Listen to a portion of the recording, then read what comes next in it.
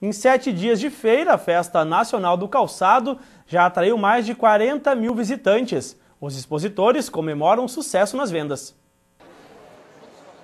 Calçados masculinos e femininos de todos os modelos e tamanhos, bolsas, acessórios e descontos de até 80%.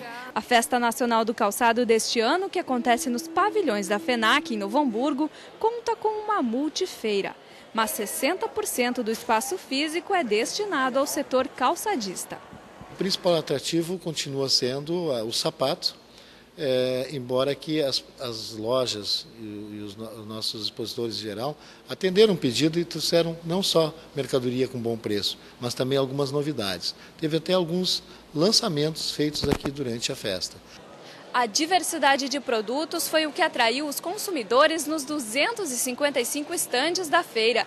Do dia 5 até hoje, 44 mil pessoas já visitaram os pavilhões e a expectativa de público para este final de semana é de mais de 45 mil pessoas.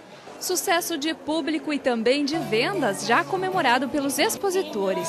Nesta loja de calçados, o que atrai os consumidores são os descontos e as opções de pagamento. Estamos com promoções é, de até 50% de desconto, né? Estamos com as liquidação das botas também e já estamos com todos os lançamentos da primavera-verão. O diferencial são os descontos que a gente está oferecendo, né? Nos perguntam, ah, mas tem preço diferente da loja? Tem, tem preço diferente. A loja oferece um desconto, aqui nós estamos dando 15% e as condições no cartão de crédito em até seis vezes, que está chamando bastante, né? Eu estou gostando, é a primeira vez que eu venho. Uh a gente tem que dar uma volta primeiro para conhecer, mas eu acho que tem marcas boas que vale a pena vir. Tô achando bacana. Agora mesmo que eu vim hoje só para cá, né, para assistir, para ver, dar uma olhadinha. Tá, tá, não, tá muito bem, tá muito bonito, né? Os preços também estão bons, né?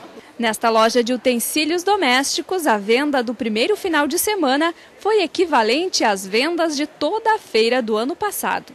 E a expectativa é que isso continue. A semana também foi muito boa. Nós tínhamos uma média bem inferior do que nós conseguimos atingir e a, e a gente quer passar todas as metas, né? Com certeza a gente vai superar todas as metas. Essa festa foi um sucesso até aqui, porque os lojistas também, nossos expositores, estão muito contentes, porque realizaram bons negócios, mesmo no dia que menos gente veio, que foi na terça-feira, eh, as pessoas comentavam que aqueles que vieram, vieram para comprar.